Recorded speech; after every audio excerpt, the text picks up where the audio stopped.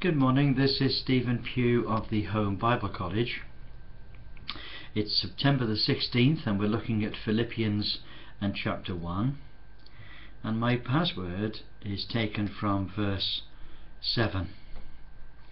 Um, let me read the, the verses before. He says, I thank my God upon every remembrance of you, always in every prayer of mine for you all, making request with joy for your fellowship in the gospel from the first day until now, being confident of this very thing that, which he, that he which hath begun a good work in you will perform it until the day of Jesus Christ. Verse 7 Even as it is meet for me to think this of you all, because I have you in my heart. Insomuch as both in my bonds and in the defence and confirmation of the gospel ye all are partakers of my grace, for God is my record, how greatly I long after you all in the bowels of Jesus Christ.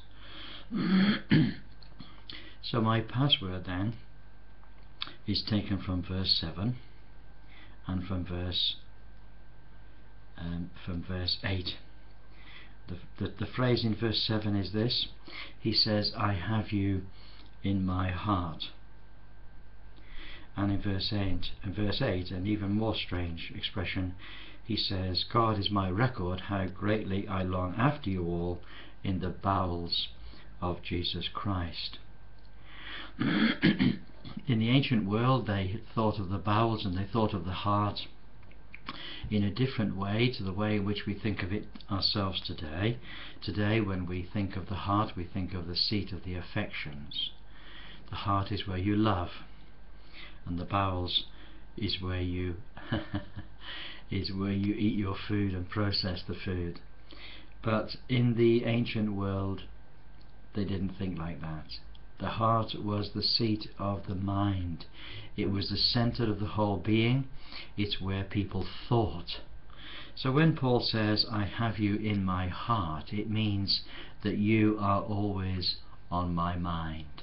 I'm always thinking about you. I'm always praying for you. that's a wonderful thing for somebody to always think of you, to always have you on their mind. But then in the next verse he goes even deeper still. He says, um,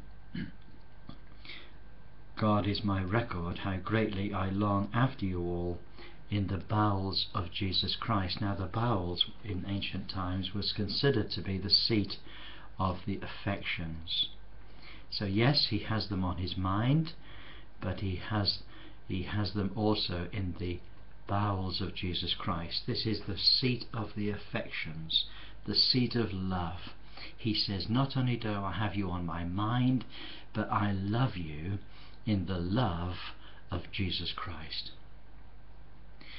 Now, I would love to have lived in those days and have this dear man of God have me on his mind. And I would love to have lived in those days and for him to tell me how much he loves me in the bowels of Jesus Christ. What a great man.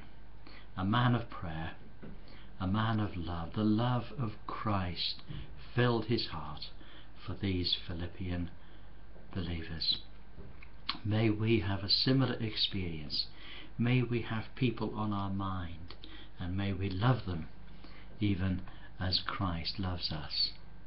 That's my thought for today. Look forward to speaking to you all again tomorrow. Have a wonderful day. God bless you.